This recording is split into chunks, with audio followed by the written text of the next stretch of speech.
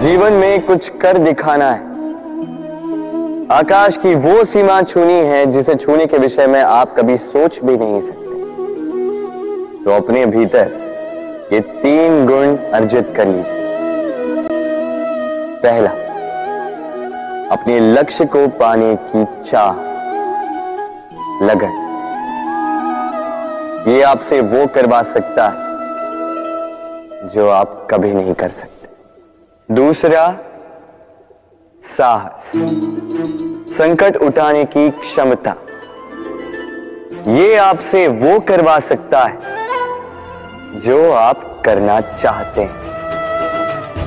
और तीसरा है, अनुभव। अनुभव आपको ये बताएगा कि आपको करना क्या चाहिए। तो जिसने चाह, साहस और अनुभव। इन तीन गुणों की तिकड़ी पाली। उनके लिए इस संसार में ऐसा कुछ भी नहीं जो वो ना पा सके।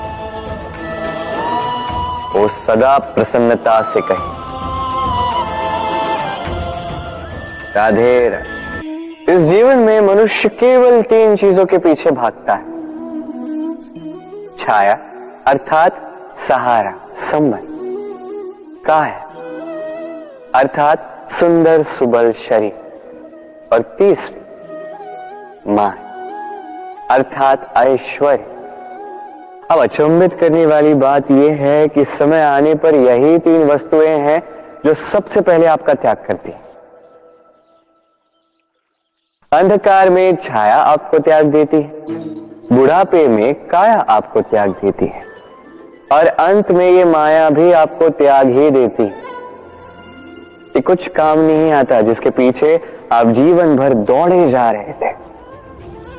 यदि कुछ काम आता है तो वो है आपका प्रेम पूर्ण व्यवहार जो आपने संसार को दिया।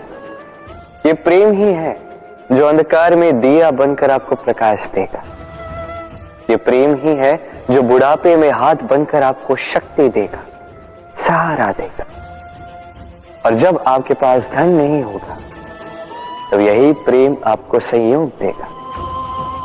इसलिए इस जीवन में यदि कुछ कमाना है तो केवल प्रेम कमाएँ यदि आप भी मेरी बातें दूर की सोचते हैं तो केवल प्रेम कमाएँ और आप इसी प्रेम के साथ कहीं राधे राधे। संसार में नियति बहुत कुछ निश्चित करती जैसे हर एक वस्तु की सीमा।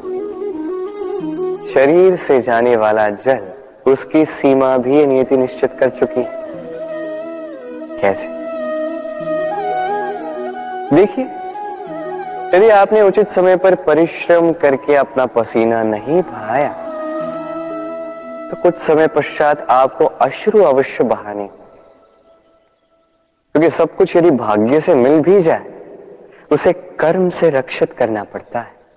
यदि परिश्रम करते रहोगे तो जो पाया है उसे सहेज कर रख पाओगे और जो आप पाना चाहते हैं, वो अवश्य पालोगे। किंतु यदि परिश्रम से दूर रहे तो जो पाया है उसे तो खो ही दो। और जो पाना चाहते हैं उसका तो प्रश्न ही नहीं होता। और बहाओगे